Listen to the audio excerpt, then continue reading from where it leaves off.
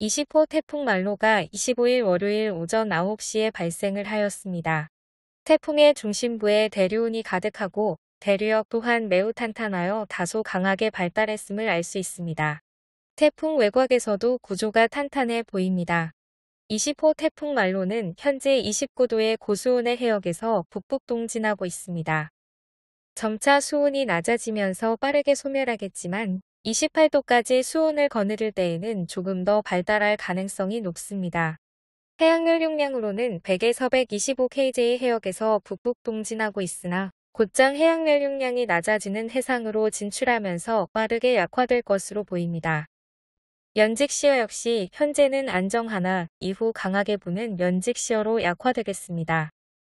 미해군 합동태풍경보센터의 홈페이지를 보면 TS25W 말로라고 20호 태풍 말로의 발생 사실을 알리고 있고 어제까지만 하여도 99W 열대요란 빨간색 서클인 high 등급으로 표시를 하고 있으므로 이 의미는 24시간 이내에 열대저압부 또는 태풍으로 발달할 가능성이 높은 단계라는 의미입니다.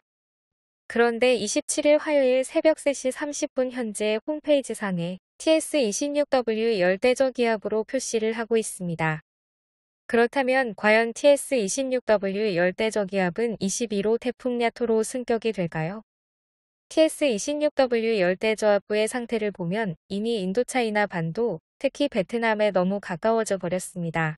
게다가 열대저압부의 중심부에서 구름대가 활발히 발달하고 있는 것도 아닌 상태입니다. 이 열대저압부가 21호 태풍 냐토가 되려면 세력을 좀 더 키워서 최소 35노트, 초속 18m까지는 발달을 해야 하는데 육지와 매우 가깝기 때문에 발달할 확률이 낮아 보이며 대류운이 촘촘히 발달하지 않는 것 등의 이유로 21호 태풍 냐토로 발달하기에는 어려워 보입니다. 미국 해양대기청 GFS 모델의 시뮬레이션과 유럽 중기예보센터 ECMWF 모델의 시뮬레이션을 보면 태풍으로 발달하지 못할 것으로 예측하고 있습니다.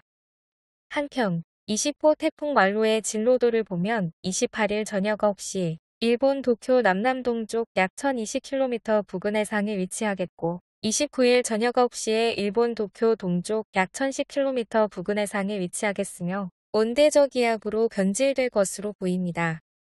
시청해 주셔서 진심으로 감사드리겠습니다. 구독과 좋아요 알람 설정을 꼭 부탁드리겠습니다. 이 채널을 운영하는 데에 큰 힘이 됩니다. 감사드립니다.